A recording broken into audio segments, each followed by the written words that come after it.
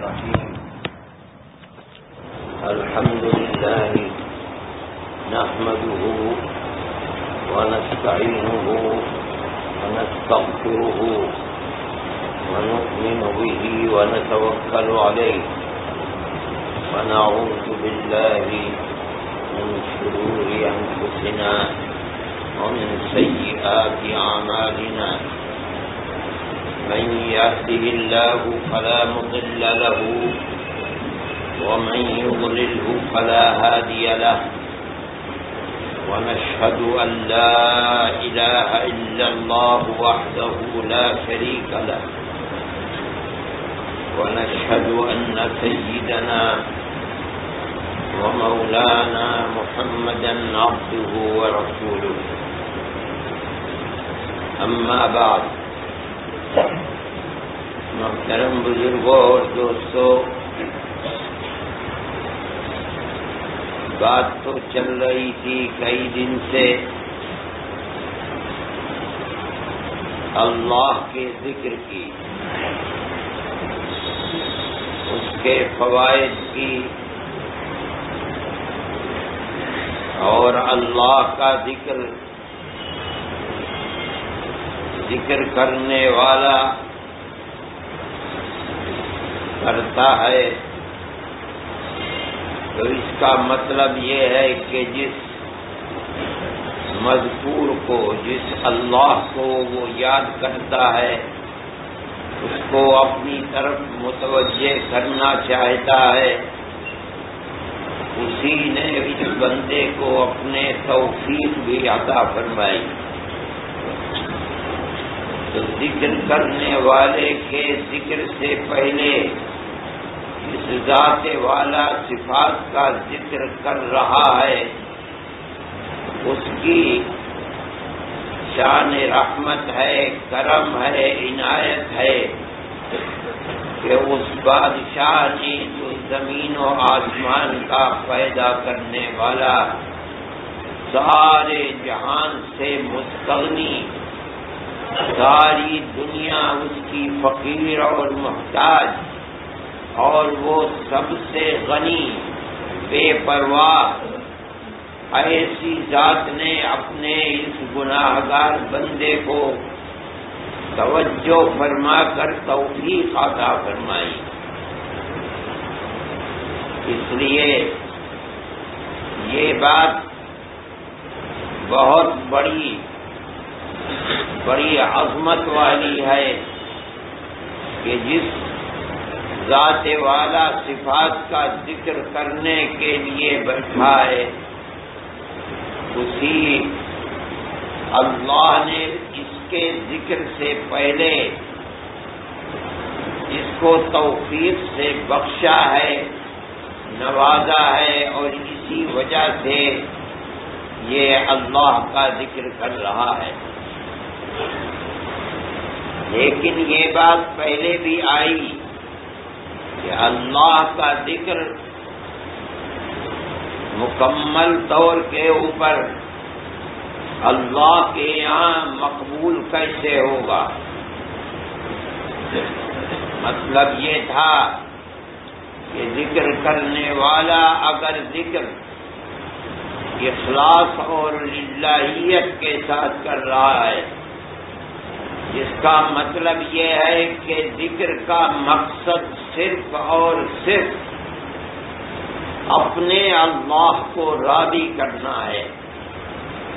اس کی رحمت اور اس کے کرم کو حاصل کرنا ہے۔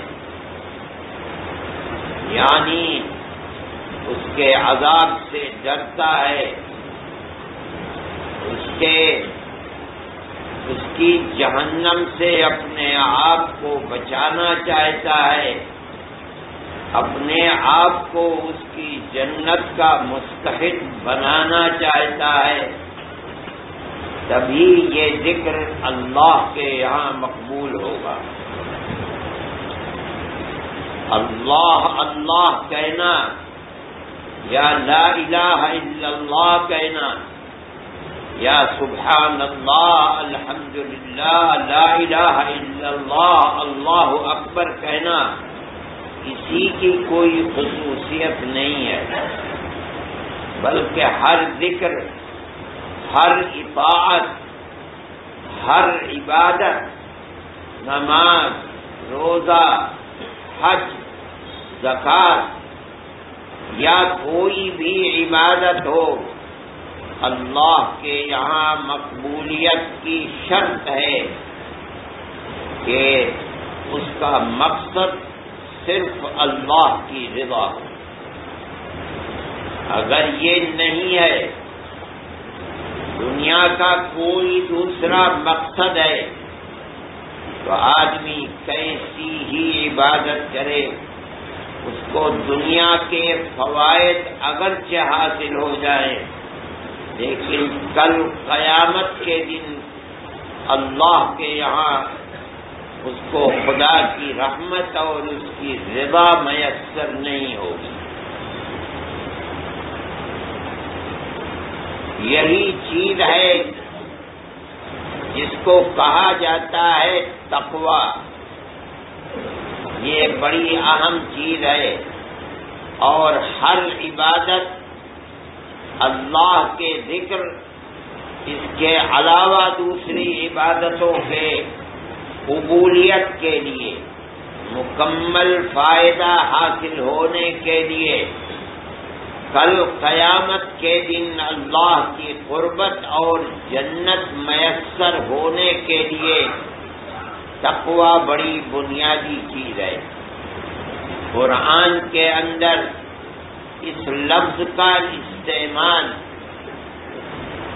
بار بار پچاسوں اور سینکڑوں جگہ کیا گیا ہے، جس سے تقوی کی اہمیت معلوم ہوتی ہے۔ بلکہ تقوا وہ مبارک اور بنیادی چیز ہے۔ قرآن یہ بتاتا ہے کہ ہم نے اپنی جنت جس کے اندر ایسی نعمتیں ہیں کہ نہ دنیا میں کسی آدمی کی آنکھوں نے دیکھی ہیں، نہ کانوں نے سنا ہے۔ کسی کے وہم و گبان میں بھی وہ نعمتیں نہیں ہیں جو ہم نے جنت کے اندر پیدا کر رکھی ہیں اور وہ کن لوگوں کے لیے ہیں؟ قرآن کہتا ہے وہ عزت للمتقین جنت بنائی گئی ہے ان لوگوں کے لیے جو دنیا میں زندگی تقوی کی گزارتے تھے۔ دل کل جنت التی نور من عبادنا من کان تقیہ ہم کل قیامت کے دن یہ جنت انہی لوگوں کو دیں گے، انہی کو اس جنت کا وارث بنائیں گے۔ جو لوگ دنیا میں متقی بن کر زندگی گزارتے ہیں۔ یہ تقوا بڑی بنیادی چیز ہے۔ اعمال صالحہ ہم جو بھی کرتے ہیں چاہے نماز ہو، چاہے روزہ ہو، چاہے ذکر ہو، چاہے حج ہو، ہر چیز کی قبولیت کے لیے بڑی بنیادی شرط ہے تقوا قرآن کے اندر یہ فرمایا گیا ہے حضرت آدم علی نبینا والے سلاط و تسلیم کے دو لڑکوں کا ذکر قرآن کے اندر آتا ہے۔ دو بھائی تھے۔ ان میں ایک متقی تھا اور دوسرا گناہ گار تھا۔ گناہ گار کا نام تھا قابیل۔ اور جو متقی تھا، اس کا نام تھا حابیل۔ مفسرین لکھتے ہیں، اب ایک نے اللہ کے خدمت میں نیاز اپنی پیش کی۔ حابیل نے اس کی نیاز اللہ نے قبول کر لی۔ لیکن قابل جو گناہ گار تھا اس نے نیاز پیش کی، اللہ نے منہ پر مار دی، رد کر دی۔ اب قابل کے دل میں اپنے بھائی کی طرف سے جلن پیدا ہوئی۔ کس کی نیاز کیوں قبول ہو گئی؟ کیوں میری نیاز قبول نہیں ہوئی؟ دونوں میں تکرار ہوا۔ قرآن میں اس کا ذکر ہے۔ تو یہ حقیقت حابیل نے بیان کی۔ یہ وہ علم تھا جو اس نے اپنے باپ حضرت آدم سے دیا تھا۔ اور یہ اپنے بھائی سے کہا ان نما یتقبل اللہ من المتقین میں کیا کروں؟ مجھے کس لیے جلتا ہے؟ ارے اللہ کے بندے، انما کلمہ حسر کے ساتھ ہے۔ اللہ تو متقیوں ہی کے عمل کو قبول کرتا ہے۔ تو اپنے اندر تقوی کو پیدا کرتا، تو آج یہ رسوائی نہ ہوتی کہ اللہ تیری نیاز کو تیرے منہ پر مار دیتا۔ تیرے تقوی کو، تیری نیاز کو بھی قبول کرتا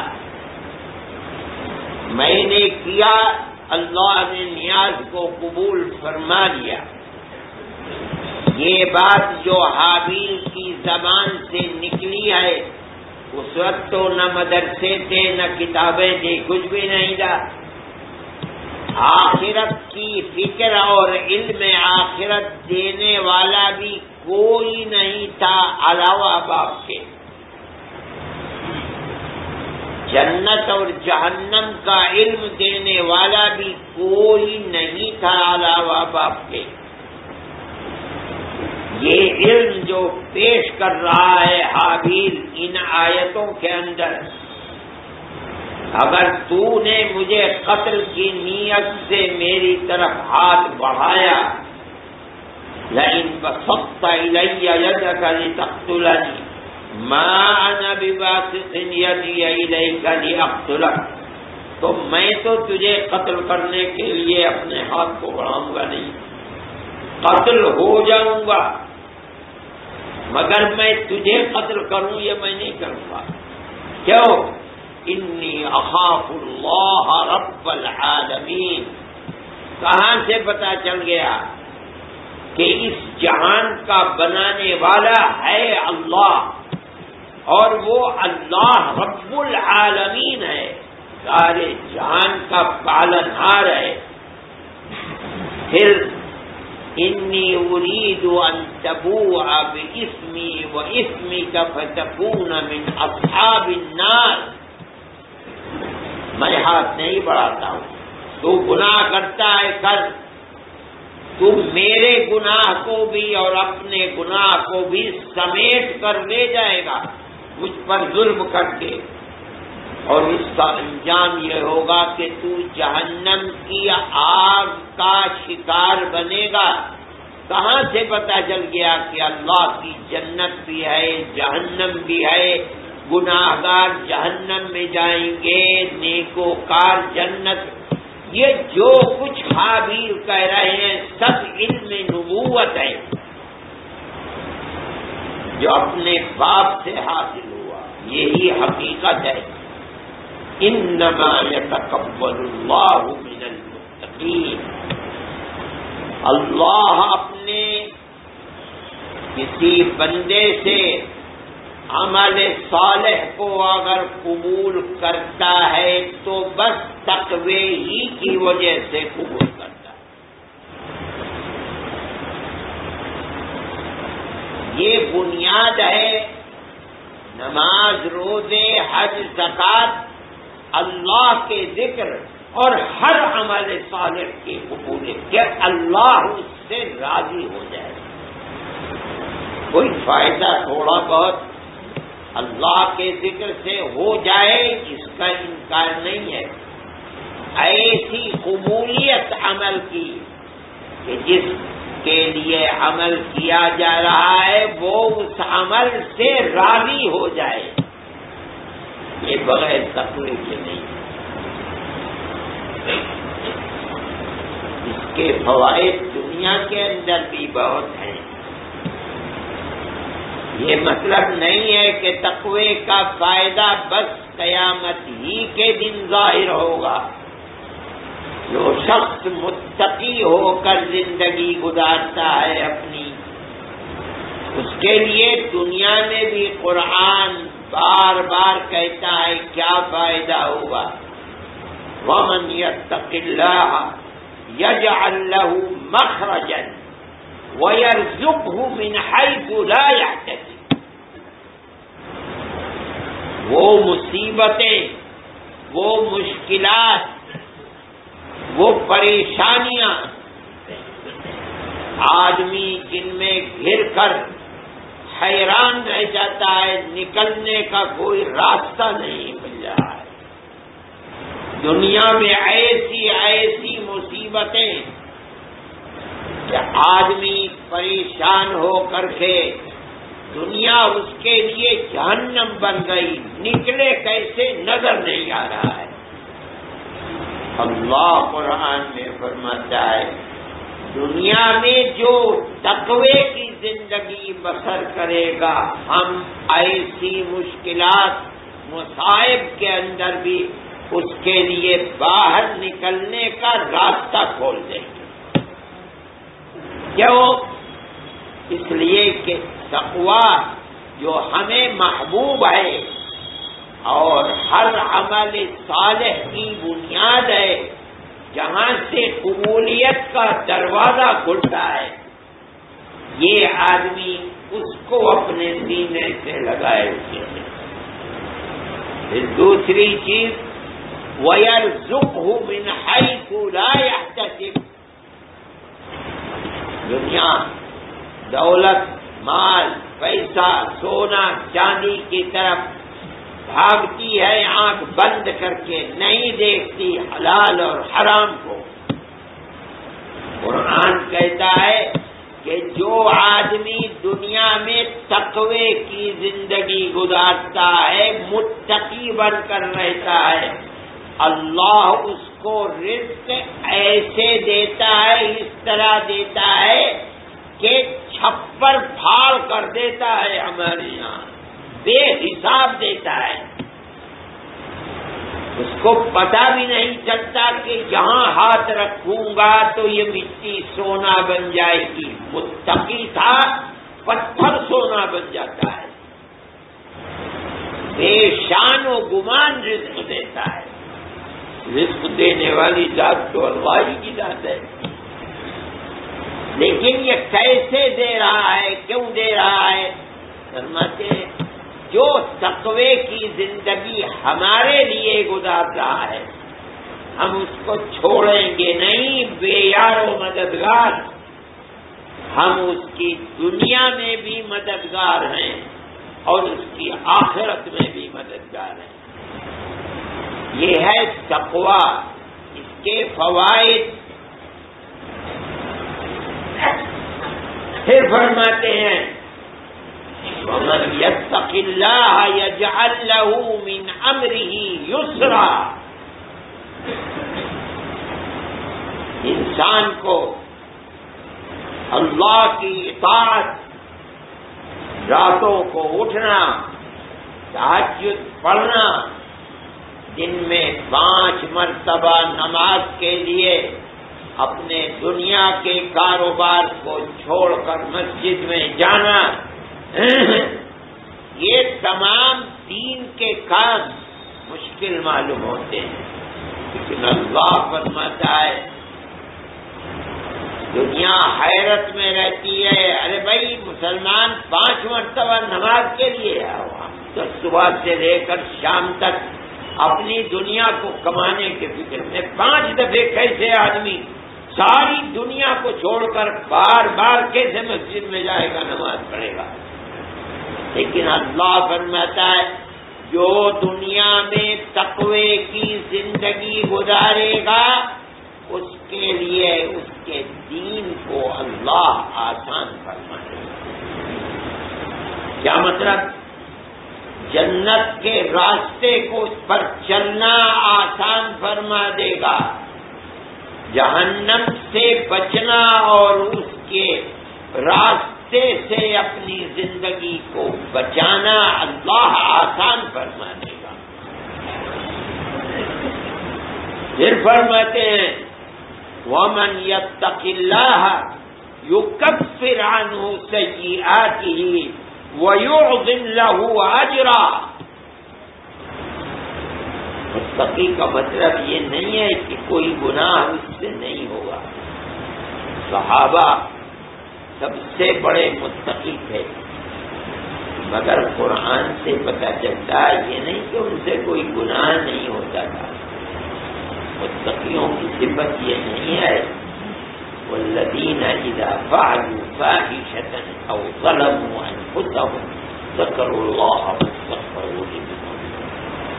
جن لوگوں کے لیے جنت بنائی گئی ہے متقیوں کے لیے، ان کی زندگی ایسی ہے کہ اول تو گناہوں سے بچتے ہیں، لیکن اس کے باوجود اگر کوئی گناہ ہو جاتا ہے تو ہماری طرح نہیں کہ ناک پر مکھی بیٹھ گئی، اڑا دیا۔ اول تو گناہ کرتے نہیں، متقی وہ ہیں، لیکن بتقاضائے بشریت انسان ہے، کوئی گناہ ہو جاتا ہے، بھول چوک کر تو چین سے نہیں بیٹھتے، اللہ کے سامنے روتے ہیں، جھجاتے ہیں، آنسو بہاتے ہیں اور گناہ کو بخشواتے ہیں بخفرت کراتے ہیں۔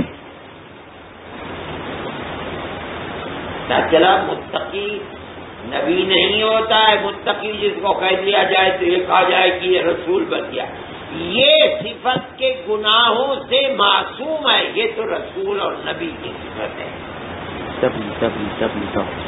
وہ اللہ نے انہیں گناہوں سے معصوم کیا۔ دنیا کا بڑے سے بڑا ظاہر بڑے سے بڑا عالم، بڑے سے بڑا صوفی گناہوں سے معصوم نہیں ہے۔ گناہوں سے معصوم اللہ کا نبی اور رسول ہے۔ لیکن تقوا ایسی چیز ہے کہ اگر گناہ ہو جائے گا تو اللہ اس کو بخش دے گا۔ کیوں؟ اس لیے کہ اللہ جانتا ہے کہ یہ گناہوں پر ڈھیٹ نہیں ہے، جسارت نہیں ہے، گناہ سے بچتا ہے۔ ہو گئی غلطی۔ یہ تو متقی ہے اور اللہ جانتا ہے کہ یہ متقی ہے۔ یہ کب فران ہو صحیح آتی اور ایک اور بات وہ لہو اجرا اگر ہم نماز پڑھیں گے اور ہمیں نماز کا ثواب مان لو، ہماری نماز کیا ہے؟ پانچ پیسے، دس پیسے بھر مل بھی گیا۔ متقی اگر نماز پڑھے گا تو اس کے عمل صالح کا بدلہ بہت بھاری اور بڑا بدلہ ہوگا۔ اللہ کے یہاں متقی کے عمل کی ایسی قدر ہے، قدردانی ہے۔ آپ نے فرمایا کہ میرے صحابہ اگر صدقہ ایک کھجور، آدھی کھجور کریں گے، دوسرے لوگ جو آئیں گے، پہاڑ کے برابر دے دیں گے، تب بھی وہ ثواب نہیں ملے گا۔ کیا چیز ہے؟ وہ تقوا ہے، بنیاد انسان کے عمل کے بدلے کی۔ جس کا جتنا اونچا مقام تقوی کے اندر ہے، ویسا ہی اس کا ذکر، اس کی نماز، اس کا روزہ، اس کی بات اس کا حج، اس کا صدقہ۔ ویسا ہی اللہ کے یہاں مقبول بھی ہے اور ایسی ہی اللہ کی جگہ بھی اس کے ساتھ ہوگی۔ سوال پیدا ہوتا یہ تقوا ہے کیسی تو تقوا عربی میں تو کہتے ہیں انتجال بین کا و بین ما تخاف تو تقی کا نہیں ہو تقوا عربی میں کہتے ہیں کہ آدمی جس چیز سے ڈرتا ہے، اپنے اور اس چیز کے درمیان میں ایسی دیوار اور پردہ بنا دے کہ اس کے شر سے محفوظ ہو جائے۔ شیر سے ڈرتا ہے۔ اپنے اور شیر کے درمیان میں ایسی دیوار بنا لے کہ شیر ادھر آ نہ سکے۔ یہ ہے تقوا آگ سے ڈرتا ہے۔ اپنے اور آگ کے درمیان میں ایسا پردہ بنا لے کہ آگ کی لپٹ تجھ تک نہ پہنچ سکے۔ اب قرآن کہتا ہے، اتقوا النار، جہنم کی آگ سے بچو۔ کیا مطلب ہے اپنے اور جہنم کی آگ کے درمیان ایسی دیوار بنا دے کہ جہنم کی آگ تجھ تک نہ پہنچ سکے۔ وہیں قرآن کہتا ہے وقت اتق اللہ حق کا تقاتی اللہ سے تقوی کو حاصل اللہ کے غضب سے تقوی کو کیا مطلب؟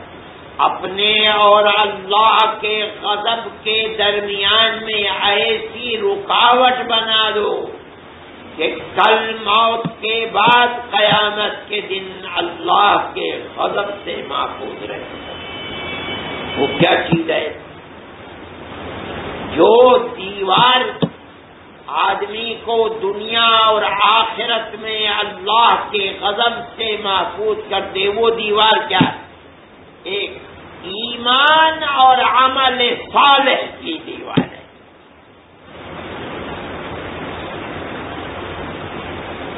ایمان وہ چیز ہے کہ جس دل میں ایمان ہے جو لا الہ الا اللہ، محمد الرسول اللہ کا کہنے والا ہے، وہ جہنم میں ہمیشہ کے لیے نہیں جائے گا۔